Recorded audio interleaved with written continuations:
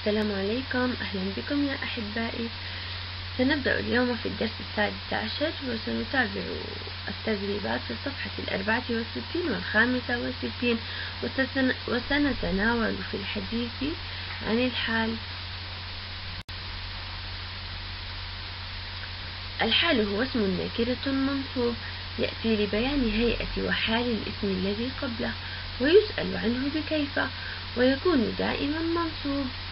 اسم النكرة أي غير معرف بألف ومنصوب أي نون بتنوين الفتح وله حالات أخرى لكن في هذه المرحلة يطلب منكم أن تميزوا أنه يكون منونا بتنوين الفتح لنأخذ بعض الأمثلة هل ترون الحافلة التي في الصورة؟ نعم كيف مشت هذه الحافلة؟ الجملة مشت الحافلة مسرعة إذا كلمة مسرعة بينت لنا هيئة الحافلة. فلننظر إلى الصورة الثانية. المعلمة كيف كيف شرحت المعلمة الدرس؟ شرحت المعلمة الدرس مستمتعة. إذا كلمة مستمتعة بينت لنا حال المعلمة. فلننظر إلى الصورة الأخيرة. لدينا طالبة تبتسم وهي تقوم بحل الواجب. فماذا نسأل؟ نقول كيف كتبت سناء الدرس؟ الإجابة تكون كتبت سناء الدرس فرحة فكلمة فرحة بينت لنا هيئة وحال سناء عند كتابتها للدرس. فلننظر إلى هذه الكلمات مسرعة مستمتعة وفرحة هي كلمات أو أسماء نكرة أي ليست معرفة بأل وهي منصوبة. أي, بي أي وضعنا عليها تنوين الفتح وقد بينت لنا حال الكلمة التي قبلها وهي الحافلة والمعلمة والمعلمة وسناء فلننظر إلى هذه الجمل. عين الحال في الجمل الآتية. شربت العصير مثلجا. لأميز الحال أسأل عنه بكيف. فأقول كيف شربت العصير؟ الإجابة تكون مثلجا فمثلجا هي الحال. الجملة الثانية يحب الناس التاجر أمينا. أسأل كيف يحب الناس التاجر؟ الإجابة تكون أمينا فأمينا هي الحال.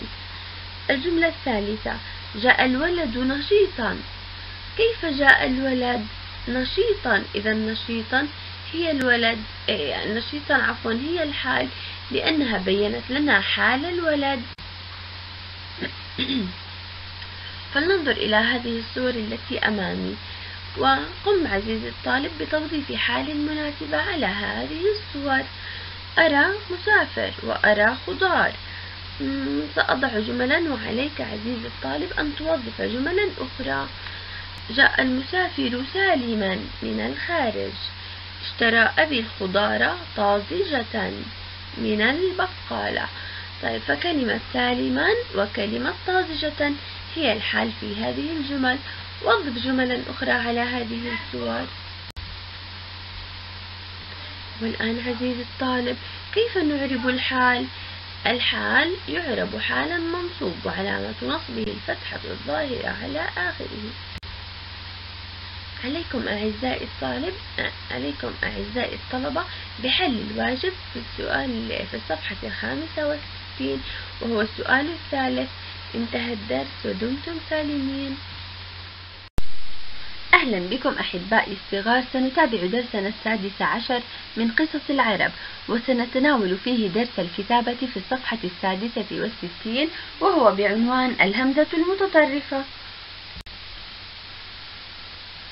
الهمزة المتطرفة هي الهمزة التي تأتي في آخر الكلمة. فلقد ذكرنا في بداية الصف الرابع أن الهمزة تنقسم إلى ثلاثة أقسام. إذا جاءت في بداية الكلمة فتكون إما همزة قطع أو همزة وصل. وإذا جاءت في وسط الكلام تكون الهمزة المتوسطة. وإذا جاءت في نهاية الكلمة تكون همزة متطرفة. وهو درسنا لهذا اليوم. تكتب الهمزة منفردة على السطر. إذا سبقت بحرف علة مثل كلمة وفاء وضوء وجريء. فجميعكم تعرفون أن حروف العلة هي الألف والواو والياء. فإذا جاءت هذه الحروف قبل الهمزة نكتب الهمزة منفردة على السطر. وإذا سبقت أيضا الهمزة بحرف صحيح ساكن مثل كلمة عبء أو جزء. فنكتب الهمزة منفردة على السطر. فلتنظروا معي أحبائي الصغار على هذه الصور فلتنظروا إلى هذه الصور. ماذا ترون فيها؟ أحسنتم. الصورة الأولى هي صورة سماء والتي تليها صحراء وتليها صورة للمساء ثم صورة أصدقاء. أحسنتم. فها فها فهذه الصور جميعها تحتوي على همزة متطرفة تكتب منفردة على السطر. والآن يا صغيري هل بإمكانك تفسير سبب كتابة الهمزة منفردة على السطر في الكلمات الآتية؟ الكلمات هي هواء مليء ضوضاء. كلمة هواء لأن الهمزة المتطرفة سبقت بحرف علة.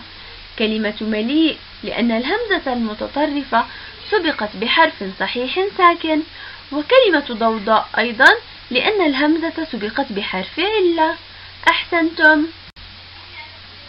والآن يا صغيري اكتب قاعدة كتابة الهمزة المتطرفة على دفترك وأعطني أمثلة أخرى على هذه الكلمة. واجبكم يا صغاري هو السؤال الثاني في الصفحة السادسة والستين ويجب عليكم كتابته على الدفتر. انتهى درسنا لهذا اليوم. دمتم سالمين. أهلا بكم أحبائي طلاب الصف الرابع. سنتابع سنتابع درسنا السادس عشر وسنتحدث عن المحفوظة في الصفحة الثامنة والستين بعنوان هي الأخلاق.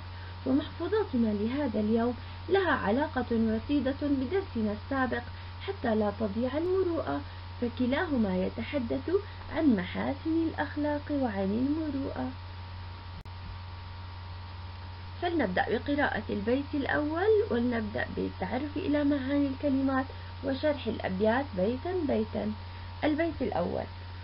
هي الأخلاق تنبت كالنبات إذا سقيت بماء المكرمات.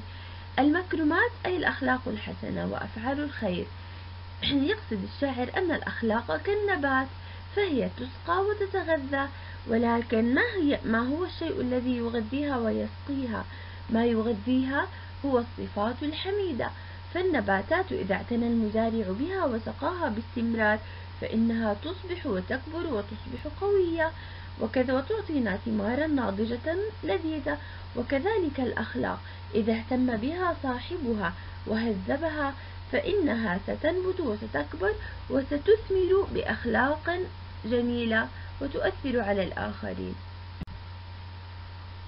البيت الثاني يقول تقوم إذا تعهدها المربي على ساق الفضيلة مثمرات تعهدها أي اعتنى بها. الفضيلة هي حسن الخلق. يقول إذا قام ولي الأمر أي المربي إذا قام بغرس هذه الأخلاق الحميدة ومتابعتها في نفوس الأبناء والأولاد الصغار فإنها ستثمر ولكن هل فعلا الأخلاق تثمر؟ هي لا تثمر حقيقة ولكنها هنا صورة فنية أي يظهر أثرها على سلوك الأبناء البيت الثالث ولم أر للخلائق من محل يهذبها كحضن الأمهات. الخلائق أي الأخلاق. يهذبها أي ينقيها ويصلحها. فمعنى هذا البيت أن الشاعر لم يرى أحدا يقوم محل أو مقام الأم بتعليم الأخلاق الحسنة وغرسها وتهذيبها ومتابعتها في نفوس الأبناء. البيت الرابع. فحضن الأم مدرسة تسامت لتربية البنين أو البنات تسامت أي ارتفعت مكانتها. فحضن الأم كالمدرسة ولكن ما وجه الشبه بين حضن الأم والمدرسة؟ كلاهما لهما مكانة عالية المدرسة تعلمنا وتعطينا العلم وتعلمنا الأخلاق والتربية والأم كذلك هي هي تربينا وتعطينا وتعلمنا حسن الخلق. فحضنها كالمدرسة فهي ارتفعت بمكانتها لأنها خصصت لتربية البنين والبنات. البيت الخامس. أليس العلم في الإسلام فرضا على أبنائه وعلى البنات؟ في هذا البيت نتحدث عن أهمية العلم لأن الشاعر هنا يتساءل أليس العلم فرضا في الدين الإسلامي فهو فرض على الذكور كما هو فرض على الإناث. وهنا يبين لنا مكانة العلم في الإسلام. البيت السادس. وكانت أمنا في البحر في العلم بحرا تحل لسائرها المشكلات. ولكن من هي أمنا؟ أمنا هي السيدة عائشة رضي الله عنها. فيقول الشاعر كانت السيدة عائشة رضي الله عنها بحرا ولكن ما وجه الشبه بين البحر وبين السيدة عائشة؟ كلاهما واسع وكبير فالبحر كبير في مداه والسيدة عائشة رضي الله عنها واسعة في علمها وكانت تجيب كل أسئلة المتعلمين وتحل مشاكلهم في العلم.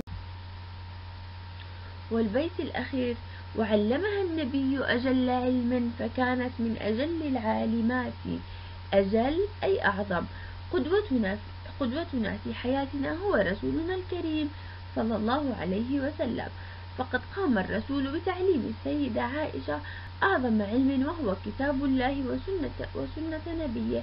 فكانت رضي الله عنها من أعظم العالمات.